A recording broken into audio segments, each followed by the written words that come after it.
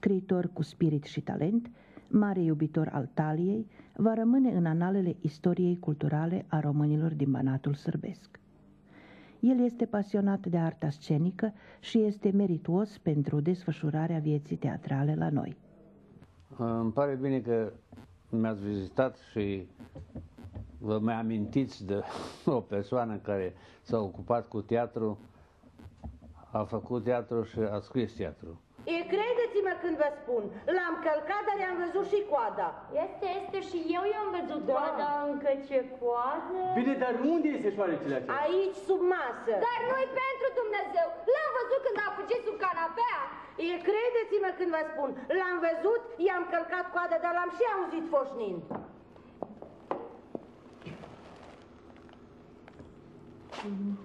E aici? E sub masă? Noi. Închideți ochii. Închideți ochii ca să nu vă fie frică. Acum o să-l alung eu. Aici ești! Aici ești! Aici ești! Aici ești! Aici ești! Cu teatru m-am ocupat încă când eram elev, jucam pe scenă, scenete, dar mai târziu la liceu, când am fost în clasa 8, am scris o scenetă și, am, și uh, elevii au pus-o pe scenă, pe scenă și au preluat textul Aidi Lauzdin și l-au pus la ei pe scenă și eu acum mă lau că i-am pus eu bazele teatrului de la din Cu teatru propriu zis am început să mă ocup când m-a rugat Nicu Ciobanu să scriu un sketch. Și am scris un sketch și după aia am văzut că ei, ei ar fi să, po- poate să fie și piesă. Când vine din America. Pleacă, dragă, e mătușa ta. Ai tot dreptul să o vezi. Că rămân singur, nu mă pregătim așa, nu fac curățele, asta, asta e. Vezi, el nu se descurcă ca mine. Asta e fericirea conjugală, ca nevasta să pregătească masa, să-ți spele rupele, să gândește de tine ca de un copil. Ei, iacă, Neanicu o să te ajutor. Florice, Florice, Piesa a fost pusă de amatorii de la Săr- Sărcia, care se pare că au avut un interes deosebit pentru teatru și o, o dragoste pentru teatru și o pricepere, chiar pot să zic. Spre fericirea lor au avut și cadre, adică au avut și copii, băieți și tânări și tinere și au avut și ceva oameni mai în vârstă care poate juca rolurile celor mai bătrâni.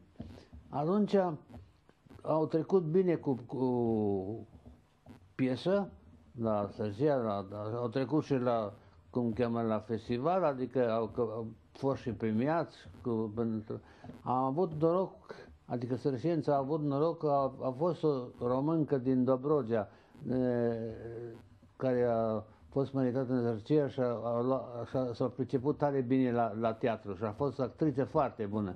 Și întotdeauna primea premii pentru, pentru asta, cum îi cheamă, pentru joc. Lasă, Cuma, când ți-ai tăiat părul lung, te razi barba, ai altă îmbrăcăminte, dar nu mă tragi pe sfoară, Clyde. Boni, boni, pleacă mea până nu te-am lovit în bani, te dau brațe în bani. Ah, tu ești ăla bărbatul meu furios care îi face și tine. Nu ai nici treabă. Pleacă mea până nu a chemat poliția. O fi cheamă. Dar să nu afli și de tine dragostea mea. Bun. Dacă mă mai iubești, pleacă. Te rog. Bă, ăsta e Floricel, nevasta mea, mă. Pentru scriptoroi, ca aia mai lăsat pe mine. Cu toi pe regat. Igo! Mari, Mari, cap, capul, dacă mă încerci, mă înțeles. Băi, cu ea m-am căsătorit ca să capăt în America cartea verde. Și vin aici să te găsesc, bune, și unde te găsesc? Cu cine te găsesc? Cu cine? Cu un hoț și bișnițar trepăduș. Să faci dragoste cu un trepăduș, cu un golan de ultima specie. În ce cal de căzut Bonnie cu Mickey Mouse ăla să faci asta? După aia, anul viitor, m-au rugat să scriu mai o piesă, că acum, că fiind eu avocat, ei considerau că dacă sunt avocat trebuie să știu eu să scriu piese. Și, și nu, mie, nu m-a fost, să vă- să vă spun sincer, nu m-a fost deloc greu. eu într-o lună de zile am scris o piesă.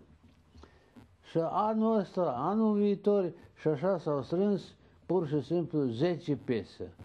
Și am mai scris eu mai una, o, o, au fost toate comedii, dar am scris și o dramă. Și Tăman au pus-o pe scenă drama și s-a întâmplat o nefericire la familia unui din care au jucat în teatru și n-au mai vrut să participe la, la, la zilele de teatru și abia că așa s-a și pierdut obiceiul acesta foarte frumos pe care el a făcut. S-a întâmplat, de exemplu, o piesă, a fost ploaie, a venit lume prea puțină și au repetat piesa mâine zi ca să o vadă mai o dată, că au zis că, fost, că, că, e tare bună, că e tare bună. Vreau și mie căsătoria să mă lase ca în film. Că doar nu vrea acum să-ți filmezi căsătoria să rămână. Da, să rămână. Să arătăm urmașilor noștri, la, la copilașii noștri, la nepoței noștri. Și acum pot să-mi închipui cum apare tu un alb, eu sunt fragul marin, papilion alb în fața preotului. Și preotul cu vocea solemnă înceapă. George Omorean, vrei tu de soție pe Florina? Florina, dar care ți este numele de familie? Extraordinar, Florina, numele de familie nu Ce drag? M-a spus că eu nu te-am iubit și tu mi-ai spus acest amănunt? Păi bine, imaginele și tu acum mă întreb care nu este numele de familie. Spune. Dar când, când, Florina, când, când te-am dus în parc la prima întâlnire și te-am îmbrățișat și sărutat, ce era să fac? Să cer buletinul să văd care este numele de față? Subiectul piesei era din viața de la sat și de la oraș, din uh, viața contemporană. Eu am cunoscut-o foarte bine pentru că am lucrat zeci de ani avocatura, am cunoscut uh, mediul, am cunoscut oamenii, am cunoscut uh, psihologia de la sat, am, am știut cum gândesc și ce gândesc și care sunt problemele principale, așa că nu mi-a fost greu să fac să scriu o piesă. Mi-a fost, a trebuit doar să mă gândesc la poveste, la, la subiect, cum, cum să decurgă uh, acțiunea. Doar m-am descurcat, descurcat foarte bine pentru că am impresia că am, am avut așa un talent de umor și, și am scris, eu pe, pe lângă uh, piese, uh, scriu și am și câteva cărți tipărite de uh, schițe umoristice o să vă dau și vouă să le aveți. Și așa s-a întâmplat că am, am trecut 10 ani așa de repede, au primit premii, dar aia a fost mai frumos în toată chestia asta, că mergeam și eu cu ei, adică mergeam în, în consiliile de teatru în toate satele și urmăream cum joacă ceilalți din celelalte sate și am văzut că sărșențe totuși au talent și și știu mai bine să joace decât alții. De la începuturile sale, teatrul amatoricesc al românilor din Vojvodina a fost un mediu cultural unde s-au creat dramaturgii, mediu unde publicul a fost familiarizat cu actorii și interesantele scrieri dramatice pe care ei le-au interpretat pe scenă, iar actorii s-au arătat a fi niște entuziaști dornici să atingă perfecțiunea în teatrul amatoricesc nevoie de mine? Nu, nu, puteți pleca.